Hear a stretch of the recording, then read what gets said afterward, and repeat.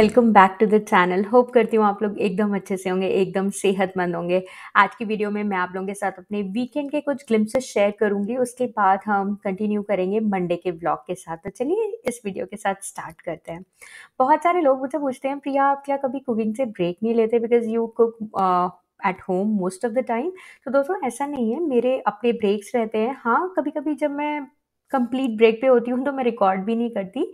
हम लोग भी बाहर जाते हैं, खाना खाते हैं बट हाँ वो इतना फ्रीक्वेंटली नहीं होता।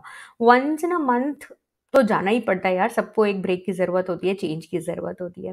तो आज फ्राइडे इवनिंग था, हमने सोचा ऑलिव गार्डन जाते हैं। गोविंद का फेवरेट है ऑलिव गार्डन यहाँ का सूप सैलड उसको शेल पास्ता बहुत ज़्यादा पसंद है तो हमने वही सब ऑर्डर किया। हालाँकि यहाँ पे ना वेजिटेरियंस के लिए ऑप्शंस बहुत कम मिलते हैं बट बच्चों को पसंद होता है तो फिर सही लगता है आना तो आज हमने शेल पास्ता ऑर्डर किया था स्पेगेटी ऑर्डर की थी, सबका टेस्ट ऑलमोस्ट सेम ही रहता है बट मज़ा आया फैमिली के साथ एक आउटिंग हो गई, थोड़ा सा चेंज मिल गया और मोस्ट इम्पॉर्टेंटली कुकिंग नहीं करनी पड़ी आज मुझे।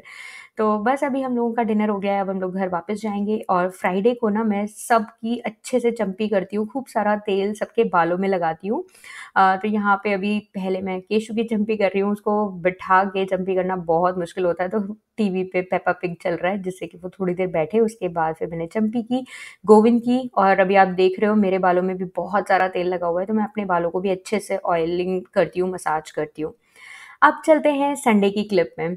तो संडे को हमने सोचा कि टारगेट से ना केशु के लिए भी बाइक लेके आते हैं बिकॉज़ अभी थोड़े दिन हैं समर्स के, जब हम लोग बाहर निकलते हैं शाम को तो वो भी बाइक इंजॉय कर सकता है। वैसे हमने प्लान किया था कि हम नेक्स्ट ईयर उसको दिलवाएँगे बट फिर मन हुआ कि चलो यार अभी दिलवा देते हैं, और ये हमने फोर इन वन टाइप की बाइक ली है। अभी सिंस उसको पेडलिंग तो नहीं आती तो ये एज अ स्ट्रॉलर भी काम करेगा, और जब वो पेडलिंग सीख जाएगा तो उसका जो फुट रेस्ट है वो हम हटा देंगे, वो आराम से पेडल कर सकता है। तो यहाँ पे हम लोग लेकर आए हैं, बस अभी उसे असेंबल करेंगे। यहाँ पे ना हर चीज़ बिल्कुल ऐसे अलग अलग पार्ट्स में आती है, उसको काफ़ी देर लगी हमें असेंबल करने में अराउंड हाफ़ एन आवर लगा था। बट बच्चे काफ़ी एक्साइटेड है, जैसा कि आप देख रहे हो, वो इधर उधर ही घूम रहे हैं और गोविंद को ये हो रहा था कि यार ये बाइक जल्दी से जुड़े, पहले मैं बैठ के देखूँगा। जबकि उसको समझाया कि बेटा ये छोटे बच्चों की बाइक है बट बच्चों को ना कोई भी नई चीज़ आए, पहले सबसे पहले उनको ट्राई करनी होती है। और यहाँ पे केशु अपनी सवारी में बैठ के जा रहा है शाम की वॉक करने के लिए। तो चलिए अब चलते हैं मंडे की शाम में। तो आज मंडे की आफ्टरनून थी, मैं थोड़ा अपना कुछ पढ़ाई कर रही थी बैठ के, जब केशु सो रहा था। अब वो उठ चुका है, उसको मैंने ब्रेक लंच करा दिया है। मेरा लंच पहले ही हो गया था। अब मैं अपने घर के काम स्टार्ट करूँगी। तो अभी कुछ टाइम हुआ है टू थर्टी का, अपना लैपटॉप वगैरह मैं वापस उस, अपने वर्क स्टेशन पे रख दूँगी। सिंस केशु इस रूम में सोता है ना तो मैं अपना लैपटॉप बाहर ले जाती हूँ। अदरवाइज़ ना वो डिस्टर्ब हो जाता है तो उसकी नींद बहुत कच्ची हो गई है अब। उठ जाता है वो। यहाँ पे उसका ब्लैंकेट वगैरह फोल्ड करके रखूँगी। कुछ बुक्स वगैरह टॉयज़ वगैरह उसने फैला रखी हैं, वो मैं क्लीन अप करके रखूँगी। हेलो दोस्तों वेलकम बैक सबसे पहले आप सब लोगों को बहुत बहुत थैंक यू आप सब लोगों ने मेरा हाउस टूर वीडियो बहुत पसंद किया. आप सब लोगों को मेरा घर बहुत पसंद आया. बहुत प्यारे प्यारे अप्रिशिएटिंग कमेंट्स मुझे रिसीव हुए हैं. काफ़ी लोग मुझे पूछ रहे थे कि प्रिया, आप घर को दो बच्चों के साथ ऐसे मेंटेन कैसे करते हो? तो दोस्तों, मैं और अंशुल दोनों ही ना क्लिनलीनेस फ्रीक है. हम लोगों को होता है कि हमारा घर प्रॉपरली ऑर्गेनाइज एंड क्लीन रहना चाहिए. तो हम दोनों ही काफ़ी मेहनत करते हैं अपने घर को इस तरीके से मेंटेन करने के लिए. हाँ मेरे बच्चे भी एकदम नोटी है. वो लोग भी टॉयज बहुत बहुत फैलाते हैं, कभी इधर, कभी उधर फेंकते हैं टॉयज बट बच्चों में स्टार्टिंग से जो आप हैबिट्स इंकलकेट करोगे ना धीरे धीरे करके बच्चे भी लर्न करते हैं। तो हम ट्राई करते हैं कि गोविंद को सिखाएँ कि कैसे क्लीन अप करना है। कभी कभी उसके साथ भी लगना पड़ता है क्लीन अप कराने के लिए। बट वो कर लेता है क्लीन अप अपने टॉयज प्रॉपरली स्पेस पे रखता है। तो बस कुछ इस तरीके से ही मेंटेन करते हैं। और इस वीकेंड हम लोग गए थे टीजे मैक्स होम गुड भी है वहाँ पे तो मैंने कुछ शॉपिंग की है। मैंने सोचा एक क्विक हॉल आप लोगों के साथ शेयर करती हूँ। होता क्या है, फिर अगर हॉल शेयर ना करो तो फिर वीडियोस में जब मैं सामान यूज़ करूँगी तो आप लोग पूछोगे, प्रिया, कहाँ से लिया? तो सोचा आप लोगों के साथ शेयर करती हूँ और आप लोगों को हॉल वीडियोज़ पसंद भी आते हैं। सबसे पहले मैंने ये कास्ट आयरन का एक तवा लिया। एक्चुअली ना, मैं प्लान करके नहीं गई थी कि मुझे कुछ तवा वगैरह चाहिए बट मेरे दिमाग में था कि कभी भी कास्ट आयरन का इस टाइप का फ्लैट तवा मुझे मिलेगा ना तो मैं ज़रूर लूँगी। क्योंकि जो मेरे पास एग्जिस्टिंग तवा है ना, वो साइड्स वाला है। तो उसके अंदर चीला वगैरह बनाना मुझे थोड़ा सा मुश्किल लगता है। तो मुझे इस टाइप का फ्लैट चाहिए था एंड ये लॉज ब्रांड का मुझे मिल गया। आई थिंक बहुत फेयर प्राइस पे था सिक्सटीन सेवनटीन डॉलर्स का था तो मुझे लगा मैं ले लेती हूँ। और इन तवों को कुछ नहीं होता प्रॉपरली इन्हें बस मेंटेन करो। ये साल वो साल कुछ नहीं होता। कोई नॉन स्टिक वगैरह की आपको ज़रूरत नहीं पड़ेगी, अगर ये तवे आपके पास है तो।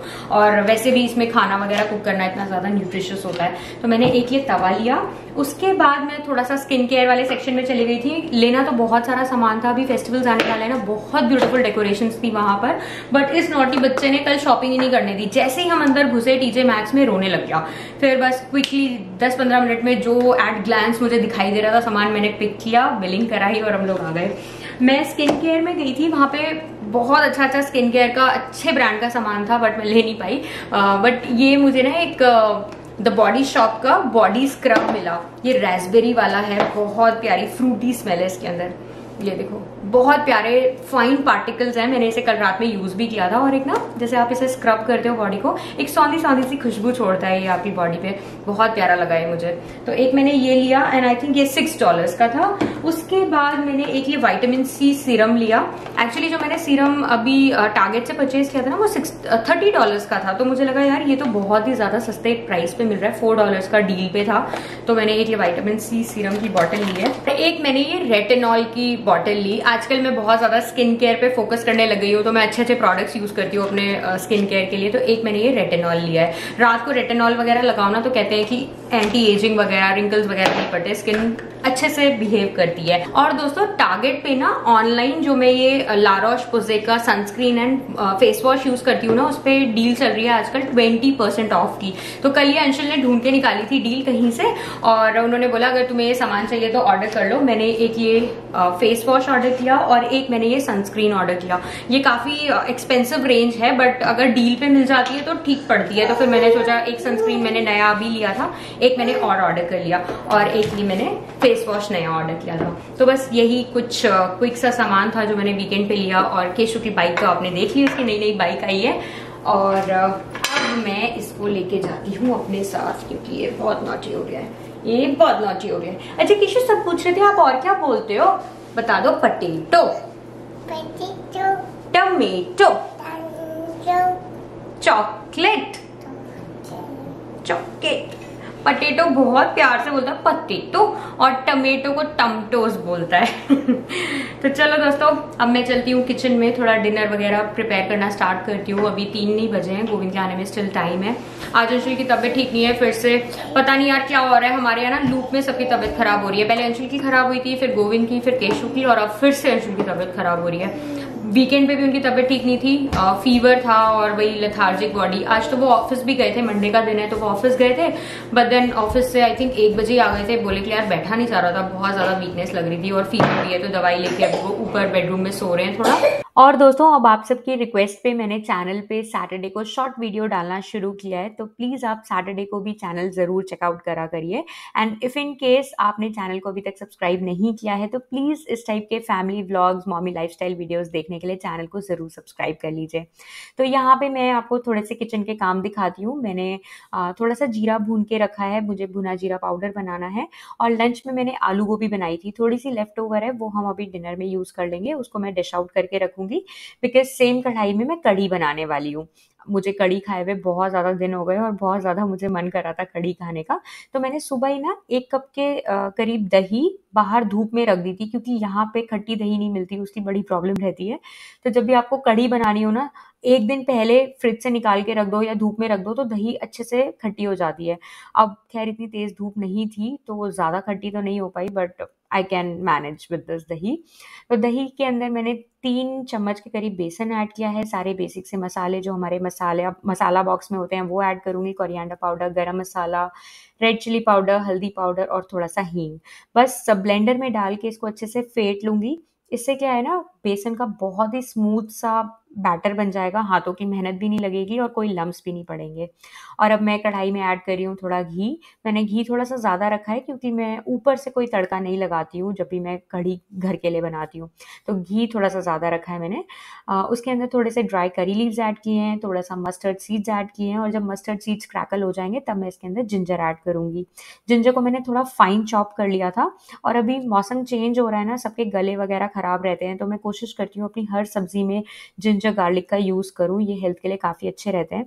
कड़ी में गार्लिक तो नहीं ऐड किया, बट जिंजर को अच्छे से भून भून लूँगी जिससे कि इसका रॉ फ्लेवर निकल जाए।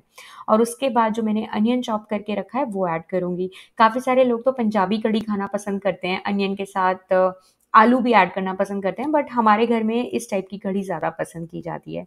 तो यहाँ पे मैंने एक मीडियम साइज़ का अनियन चॉप करके इसके अंदर ऐड किया है। इसको बस ट्रांसलूसेंट होने तक मैं कुक कर लूँगी। उसके बाद जो हमने बेसन और दही वाला मिक्सचर बना के रखा है, वो ऐड करूँगी और साथ में मैं इसमें फोर टाइम्स जितना ये मिक्सचर था, उससे फोर टाइम्स मैंने पानी ऐड कर दिया है। अब बस एक बॉयल आने तक मैं इसको चलाती रहूँगी मीडियम फ्लेम पे और जब एक बॉयल आ जाएगा ना तब मैं इसे सिम फ्लेम पे या like low to medium flame पे छोड़ दूँगी, कड़ी आराम से खोलती रहेगी और 25 मिनट्स में कढ़ी पक जाती है।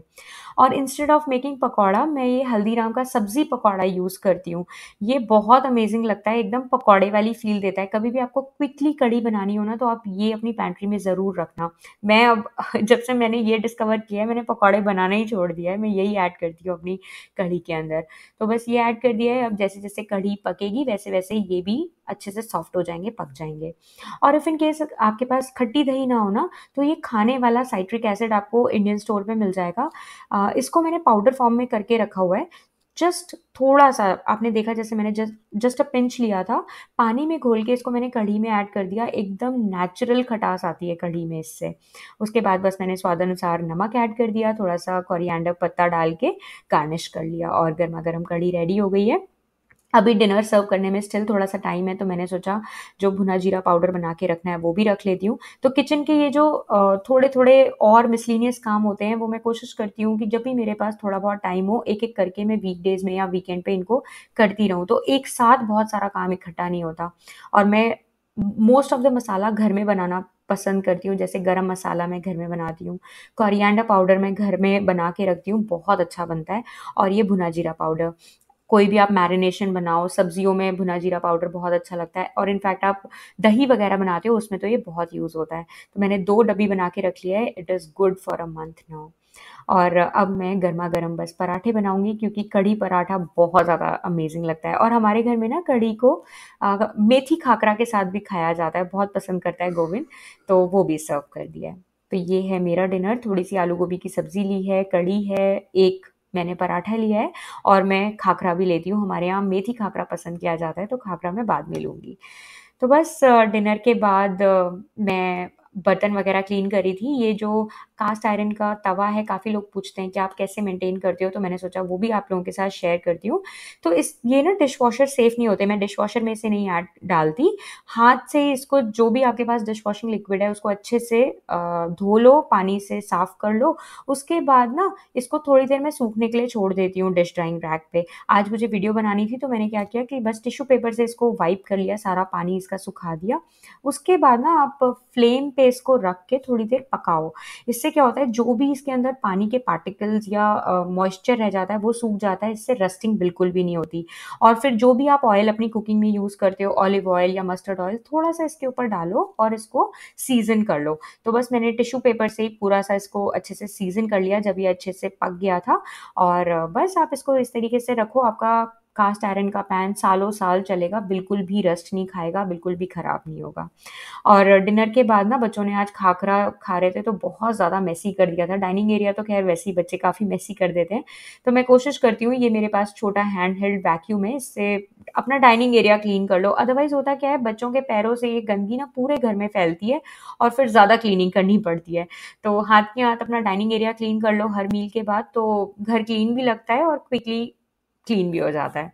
तो बस यहाँ पे मैंने डाइनिंग एरिया क्लीन कर दिया और किचन वगैरह भी वाइंड अप कर दी। किचन क्लीन हो गई है। डिशेस अभी बाकी हैं। डिश वॉशर में मैं बाद में डालूँगी क्योंकि अभी छः बज गए हैं और अभी अंधेरा जल्दी हो जाता है तो ये टाइम होता है बच्चों को पार्क लेके जाने का। तो बस दोस्तों, अब बच्चों को लेके जाऊँगी मैं पार्क और आज की वीडियो यहीं पे ख़त्म होती है। अगर आपको ये वीडियो पसंद आई है तो प्लीज़ इस वीडियो को लाइक करना शेयर करना चैनल को ज़रूर सब्सक्राइब कर लेना।